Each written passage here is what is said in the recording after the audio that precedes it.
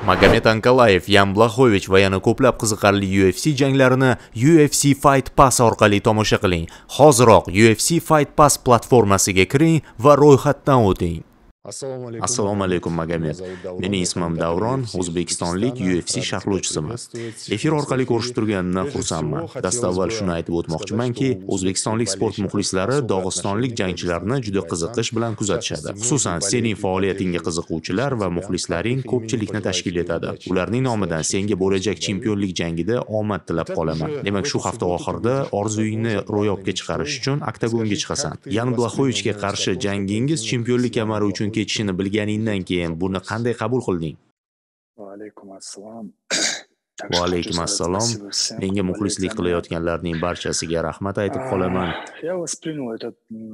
yangilikni xotirjam qabul qildim. to'g'ri juda ham xursand bo'ldim. Blaxovich bilan uch raundlik to'qnashuvga tayyorgarlik ko'rayotgandim ikki hafta qolganda menejerim ali abdulaziz qo'ng'iroq qilib teysheraga qarshi kamar uchun jang qilish taklifini aytib o'tdi.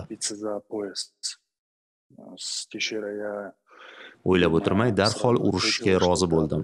oradan bir ikki soat o'tgandan keyin yana qo'ng'iroq bo'ldi. teyshera rad javobini berganini ma'lum qilishdi bizga yan blaxovich bilan besh raundlik jang taklif qilinayotganini aytishdi. Bunga ham xo'p dedim chunki o'zim shunga intilyapman. Chempionlik uchun jang qilish va kamarga ega bo'lish bu mening orzuyim. Shu sabab yangilik meni xursand qildi.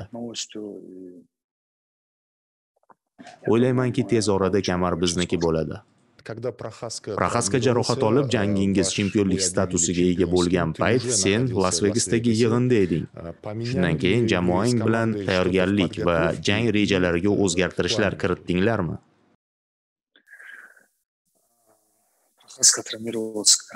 proxaska jarohat olgan payt yonida edim bitta zalda shug'ullanayotgandik dastlab jangi qoldiriladi deb o'ylamadim aynan menga chempionlik jangi taklif qilishlarini ham o'sha payt o'ylamagandim. Ufc ana shunday imkoniyat taqdim etishga qaror qildi. tayyorgarlikda deyarli hech narsa o'zgarmadi. Shunchaki biz besh raund urushishga tayyor bo'lishimiz kerak. bo'ldi boshqa hech narsa kerak emas desa ham bo'ladi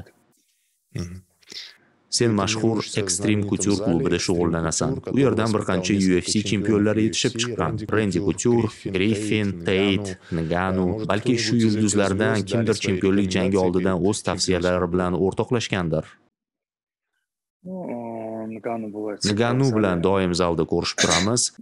Ba'zida nimadir maslahatlar berib turadi gaplashib turamiz. Sparinglashib turamiz ham ekstremdagilar meni doim qo'llab quvvatlab turishadi. Uchib kelganimda xursand bo'lib kutib olishadi. Xullas ekstrem tomondan e'tibor katta. Ufcda yorqin nokautchi sifatida e'tibor qozonding lekin bilamizki kurashdan boshlagansan. Keyin jangovar sambo aynan qaysi yo'nalishda o'zingni yaxshiroq his qilasan? kurashdami yoki zarbalar almashinuvida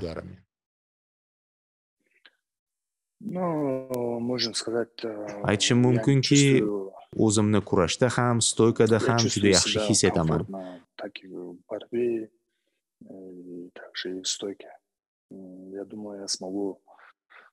kurashchi bilan kurashaveraman zarbachi bilan stoykada urushishga tayyorman raqibim kim bo'lsa ham ishonch bilan harakatlana olaman endi raqibing haqida ozroq gaplashsak sobiq chempion yan blaxovich uning uslubi haqida va umuman jangovar imkoniyatlari haqida nimalar deya olasan? U haqda faqat ijobiy fikr bildira olaman chunki u chempion bo'lgan bu yo'lda katta ishni amalga oshirgan eng zo'rlar bilan urushdi va kamarni qo'lga kiritdi. Lekin teyshera uni tez cho'qqidan qulatdi endi uning davri o'tdi yoshi ham o'ttizdan ancha o'tdi deyarli qirqqa yaqin men ancha yoshman g'alabalarga o'chman shu sababli bu juda qiziq to'qnashuv bo'ladi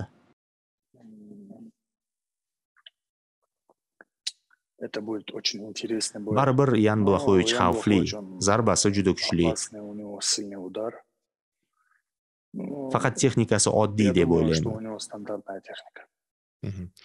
darvoqe yan ham sen haqingda ancha ijobiy fikrlar bildirgan barchaning zaif taraflari bor blaxovich ko'p mag'lubiyatlarni ortda qoldirdi ha keyin o'yinida o'zgarish qildi va g'alabalar seriyasi namoyish etib titulga ega chiqdi baribir sen o'zing uchun uning bo'sh nuqtalarini o'rganib chiqishga ulgurgansan aynan qaysi uslubda uni finish qilishni rejalashtirayotganing bilan o'rtoqlasha olasanmi hozircha bu haqda bir nima deya olmayman qafas yopilguncha bilib bo'lmaydi.